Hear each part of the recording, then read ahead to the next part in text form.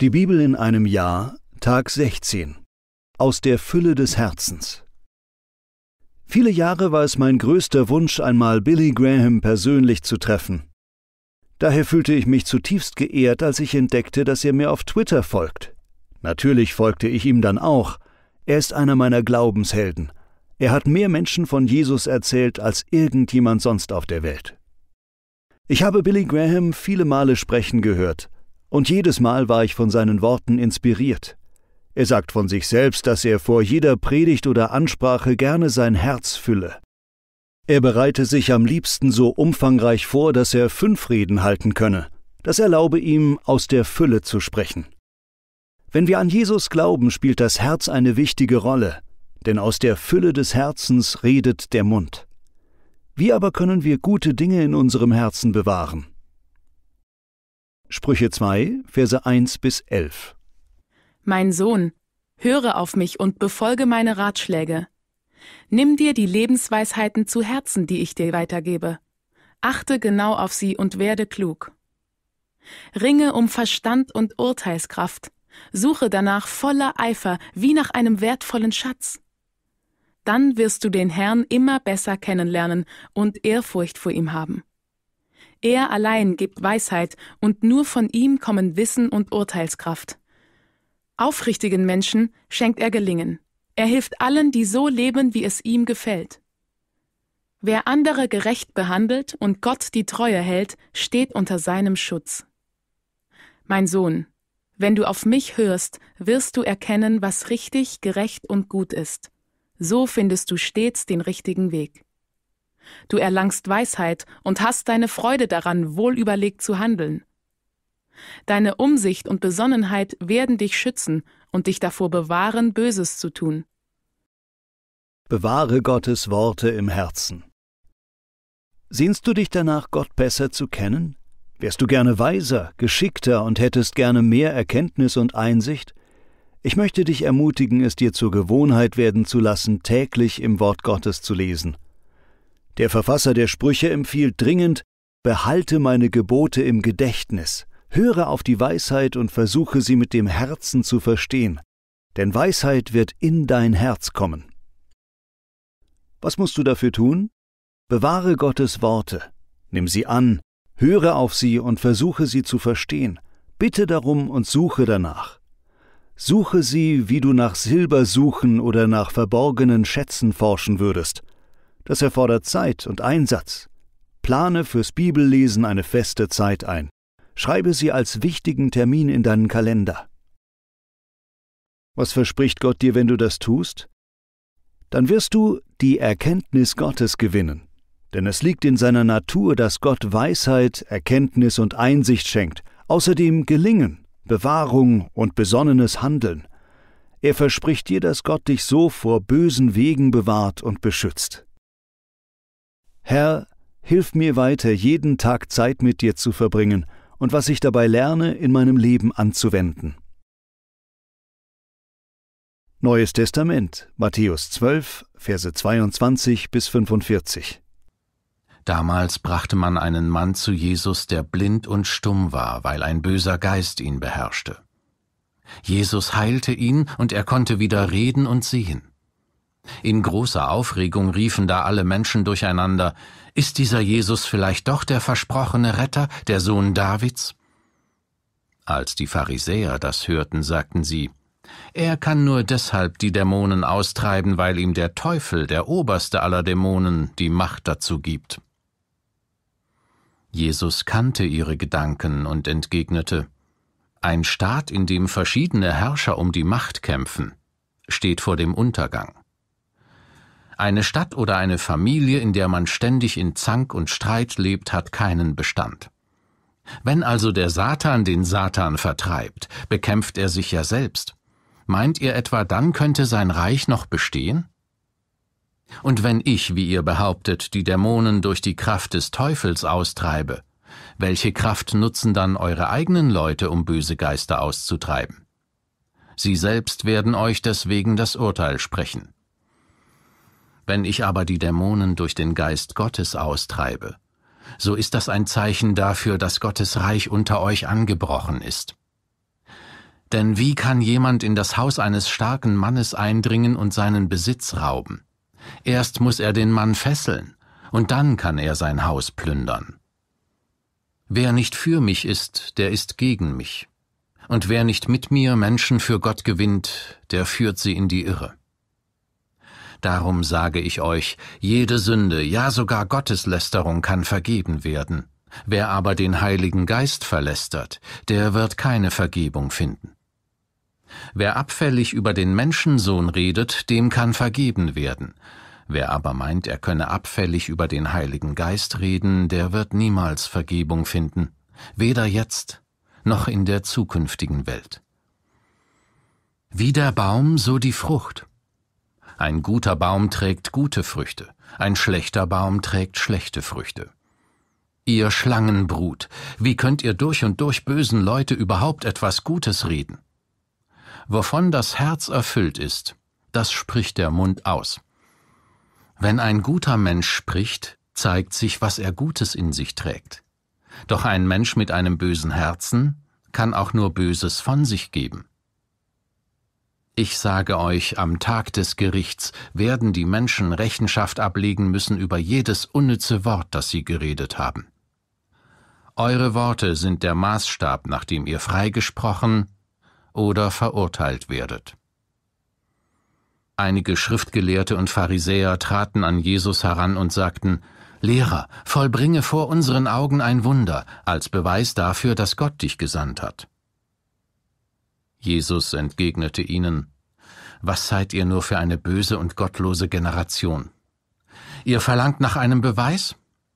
Doch den werdet ihr nicht bekommen. Ihr und eure Zeitgenossen werdet nur das Wunder sehen, das am Propheten Jona geschah. Jona war drei Tage und drei Nächte im Bauch des großen Fisches. Ebenso wird der Menschensohn drei Tage und drei Nächte in den Tiefen der Erde sein. Die Einwohner von Ninive werden am Gerichtstag gegen die heutige Generation auftreten und sie verurteilen, denn nach Jonas Predigt kehrten sie um zu Gott. Und hier steht jemand vor euch, der größer ist als Jona. Auch die Königin von Saba wird am Tag des Gerichts gegen diese Generation auftreten und sie verurteilen. Denn sie kam von weit her, um von König Salomos Weisheit zu lernen. Und hier steht jemand vor euch, der größer ist als Salomo. Wenn ein böser Geist aus einem Menschen ausgetrieben wird, irrt er in öden Gegenden umher auf der Suche nach einem neuen Zuhause. Findet er keins, entschließt er sich, ich will dorthin zurückkehren, woher ich gekommen bin. Wenn er zurückkommt und seine frühere Wohnung sauber und aufgeräumt, aber verlassen vorfindet, dann sucht er sich sieben andere Geister, die noch schlimmer sind als er selbst. Zusammen ziehen sie in den Menschen ein, der nun schlechter dran ist als vorher. Genauso wird es auch dieser bösen Generation ergehen. Lass dich vom Heiligen Geist erfüllen. Unsere Worte sind von großer Bedeutung. Jedes Wort, das wir aussprechen, ist entweder ein Stein, mit dem wir etwas bauen, oder ein Bulldozer, mit dem wir etwas zerstören, schreibt Joyce Meyer. Was immer in deinem Herzen ist, du wirst es früher oder später mit Worten ausdrücken.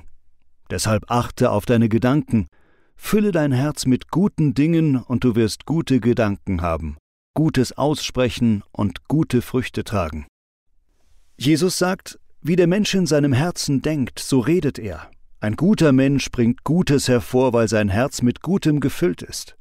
Ein böser Mensch dagegen bringt Böses hervor, weil sein Herz mit Bösem erfüllt ist. Du kannst deine Denkmuster nicht ohne die Hilfe des Heiligen Geistes ändern, der dein Herz mit seiner Liebe und mit guten Früchten füllt. Jesus sagt, dass jede Sünde vergeben wird, außer den Heiligen Geist zu lästern. Manchmal sorgen sich Menschen, dass sie diese unverzeihliche Sünde begangen haben könnten. Wenn du dir diese Sorgen machst, kannst du fast sicher sein, es nicht getan zu haben. Denn es gibt keine Schuld, die Gott dir nicht vergibt, wenn du sie als solche erkennst und ihn um Vergebung bittest. Die einzig unverzeihliche Sünde ist die Weigerung von Buße und Umkehr zu Jesus, und wenn wir uns zeitlebens dem Heiligen Geist widersetzen. Die Pharisäer und Schriftgelehrten gehörten möglicherweise zu diesen Menschen, denn sie sahen Jesus jede Menge Zeichen und Wunder tun, dennoch weigern sie sich anzuerkennen, dass Jesus in der Kraft des Heiligen Geistes wirkte. Als sie Jesus dann baten, zeige uns ein Wunder als Beweis dafür, dass du von Gott kommst, hat das etwas von einem Kreuzverhör vor Gericht. Doch Jesus dreht den Spieß um.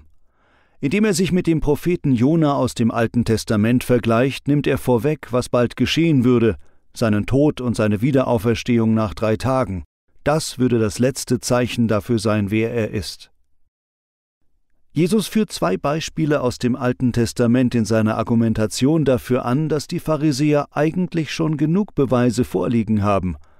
Das erste, als Jona den Einwohnern Ninives ins Gewissen predigte. Aber Jesus ist größer als Jona.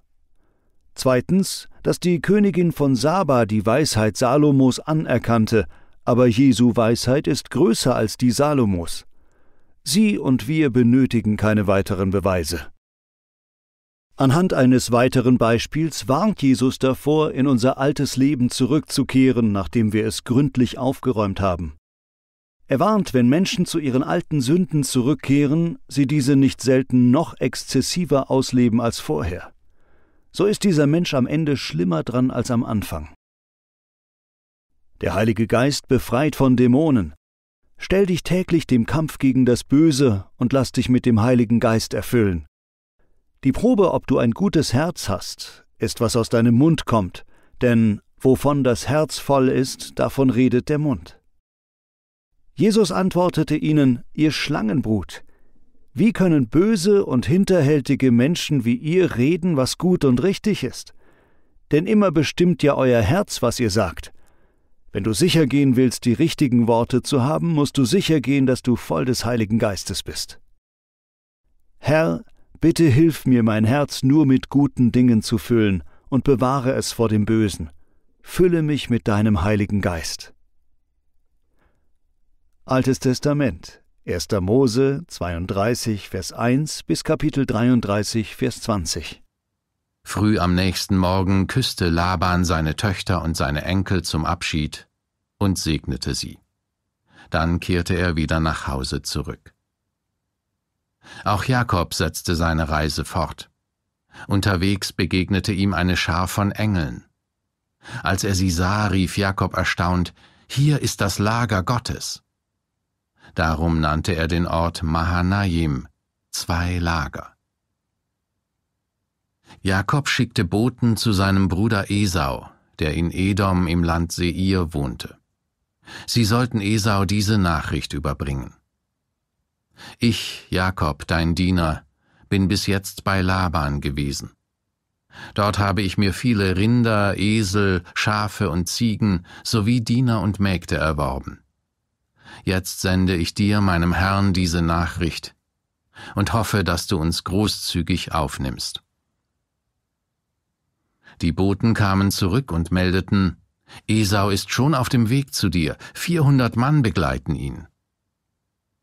Da bekam Jakob furchtbare Angst.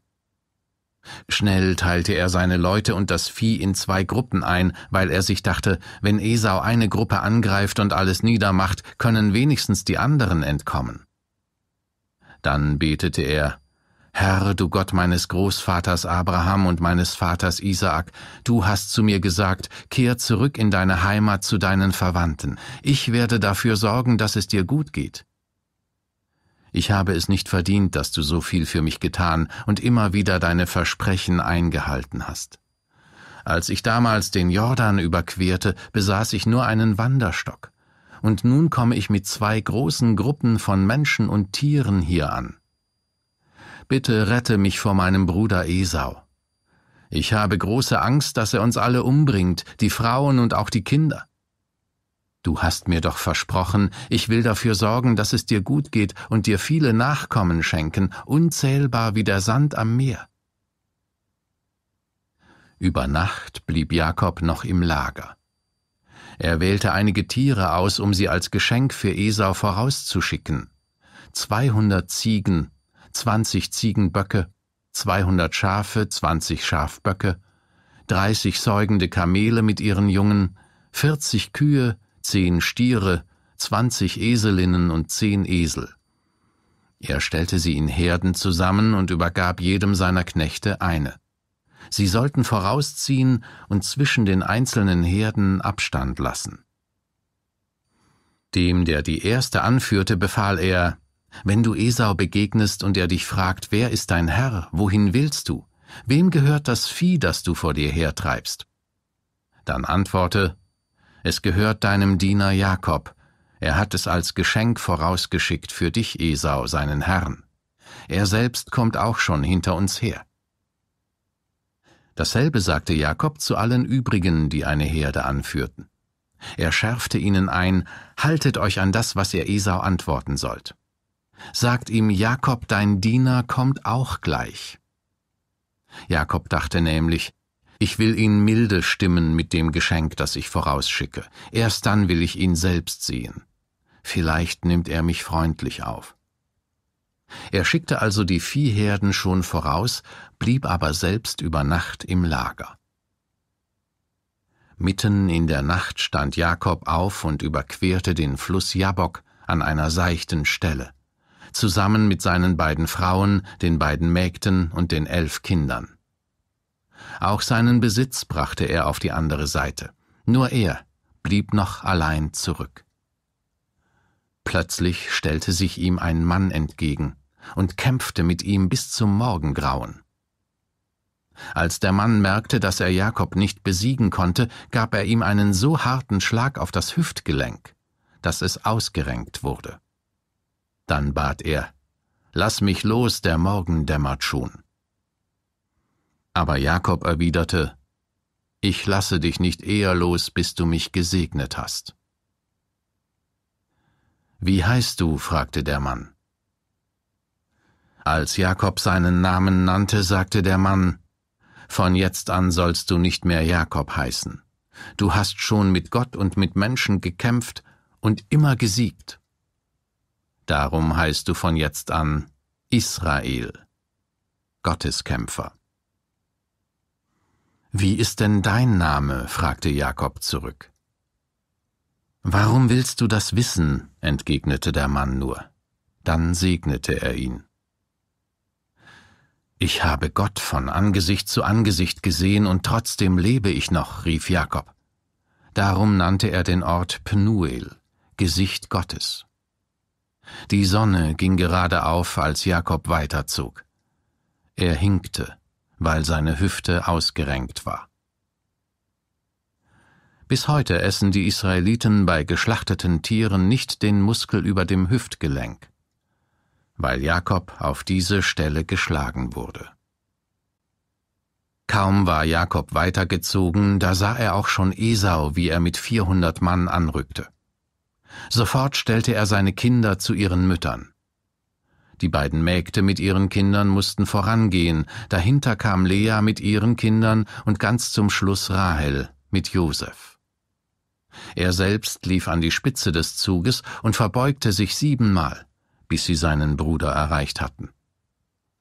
Der rannte Jakob entgegen, fiel ihm um den Hals und küsste ihn. Beide fingen an zu weinen. Dann betrachtete Esau die Frauen und die Kinder. Wer sind sie? fragte er. Das sind die Kinder, die Gott deinem Diener in seiner Güte geschenkt hat, antwortete Jakob. Die beiden Mägde mit ihren Kindern kamen näher und verbeugten sich vor Esau, ebenso Lea mit ihren Kindern und schließlich Rahel mit Josef. Warum hast du mir diese ganzen Herden entgegengeschickt? fragte Esau. Sie sind ein Geschenk für dich, meinen Herrn. Damit du dich mit mir versöhnst, erklärte Jakob. Aber Esau erwiderte, Ach, mein Bruder, ich habe schon selbst genug. Behalte es doch. Nein, bitte nimm mein Geschenk an, bat Jakob. Als Zeichen, dass du auch mich wieder annimmst. Als ich dir ins Gesicht schaute, war es, als würde ich Gott selbst sehen, so freundlich bist du mir begegnet. Mein Geschenk soll ein Segen für dich sein, schlag es doch nicht aus. Denn Gott hat es gut mit mir gemeint, und so habe ich wirklich alles, was ich brauche. So drängte Jakob, und Esau gab schließlich nach. Jetzt können wir zusammen weiterziehen, schlug Esau vor. Ich gehe mit meinen Leuten voraus und zeige euch den Weg. Aber Jakob entgegnete, Mein Herr, du siehst, dass ich kleine Kinder bei mir habe. Auch bei meinen Herden gibt es viele säugende Schafe, Ziegen und Rinder. Wenn ich die Tiere nur einen Tag über anstrenge, sterben sie. Darum ist es besser, wenn du schon vorausziehst und wir später nachkommen. Dann kann ich mich nach dem langsamen Tempo der Kinder und der Jungtiere richten und dich in Seir wieder treffen. Aber ich lasse wenigstens einige meiner Männer zum Schutz bei dir, erwiderte Esau.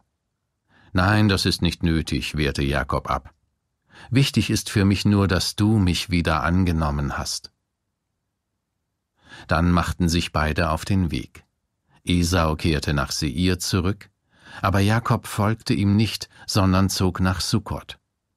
Dort baute er ein Haus, und für seine Herden fertigte er Hütten an. Darum trägt der Ort den Namen Sukkot, Hütten. Schließlich kam Jakob wohlbehalten nach Sichem im Land Kanaan. Die lange Reise, die in Mesopotamien begonnen hatte, war nun zu Ende. Vor der Stadt schlug er seine Zelte auf und kaufte den Lagerplatz für hundert Silberstücke von der Familie Hamors, des Vaters von Sichem. Dort errichtete er einen Altar und nannte ihn Gott ist Israels Gott. Ringe mit Gott im Gebet. Siehst du dich momentan mit einer großen Angst oder Sorge konfrontiert? Jakob stand in einer sehr beunruhigenden Situation. Er hatte sich mit seinem Bruder Esau überworfen und fürchtete, dass Esau ihm möglicherweise in böser Absicht nachstellte. Darüber erschrak Jakob sehr und er bekam Angst. Jakob war ein Mann des Gebets. Trotz all seiner Schuld kannte er Gott. Er erkannte die eigene Unwürdigkeit. Ich bin es nicht wert, dass du mir, deinem Diener, mit so großer Treue und grenzenloser Liebe begegnest. Er betete, glaubte und nahm Gottes Verheißung für sich in Anspruch. O Herr, rette mich von meinem Bruder Esau. Du hast versprochen, ich will dir Gutes tun und deine Nachkommen so zahlreich machen wie den Sand am Meer, den man nicht zählen kann. Sein Gebet wurde erhört, ja sogar weit übertroffen. Gebet ist nicht immer eine einfache Angelegenheit. Manchmal, wie in Jakobs Fall, kommt es uns vor, als müssten wir mit Gott ringen. Ein Pendant in dem Neuen Testament zu Jakob ist Paulus Dorn im Fleisch, den Paulus Gott dreimal bat wegzunehmen. Deine Schwächen hindern Gott nicht daran, dich zu gebrauchen. Tatsächlich benutzt Gott unsere Schwächen häufiger als unsere Stärken. Gott befreite Paulus nicht von dem Dorn. Vielmehr sagte er zu ihm, meine Gnade ist alles, was du brauchst. Siehe 2. Korinther 12, Vers 8. Vielleicht fühlst du dich, als hättest du auch einen Dorn im Fleisch, oder es scheint, als hinktest du, du hast eine Schwäche oder ein sichtbares Handicap. Jackie Pullinger pflegt zu sagen, sie vertraue niemandem, der nicht hinke. Oft ist es doch so, dass es die Probleme, Enttäuschungen und Kämpfe sind, die unser Herz verändern, Nachdem Jakob mit Gott gerungen hat, sehen wir, dass sich sein Herz verändert. Die Haltung zu seinem Bruder ist vollkommen verwandelt. Nachdem der Sieg durch Gebet errungen ist, scheint alles ins Lot zu kommen. Es kommt zu einer grandiosen Wiedervereinigung und Versöhnung. Esau rannte ihm entgegen, fiel ihm um den Hals und küsste ihn. Beide weinten. Ihre Haltung zueinander hatte sich vollkommen gewandelt. Lieber Bruder, sagte Esau, ich habe selbst genug, behalt es nur. Und Jakob erwidert, Nein, bitte nimm meine Geschenke an, wenn du mir gewogen bist. Als ich dich sah, war mir, als ob ich Gott selbst sehen würde. Bitte nimm meine Geschenke an, die dir überbracht wurden, denn Gott hat mich überreich beschenkt. Ich habe mehr als genug. Herr, ich danke dir, dass du auf unsere Gebete antwortest. Hilf uns im Gebet wie Jakob mit dir zu ringen. Herr, ich bete, dass du Versöhnung in alle unsere Beziehungen mit unseren Glaubensgeschwistern bringst. Möge mein Mund aus der Fülle meines Herzens sprechen. Noch ein Gedanke meiner Frau. 1. Mose 32, Vers 1 bis 33, Vers 20. Die Beziehung von Jakob zu seinen Eltern, seinem Schwiegervater und seinem Bruder waren alles andere als perfekt. Und doch sehen wir in allem Gottes Liebe und Versorgung. Nachdem Jakob mit Gott gerungen hat, sehen wir an Jakob eine neue Demut. Zum ersten Mal hat er den Wunsch zu geben und nicht immer nur zu nehmen.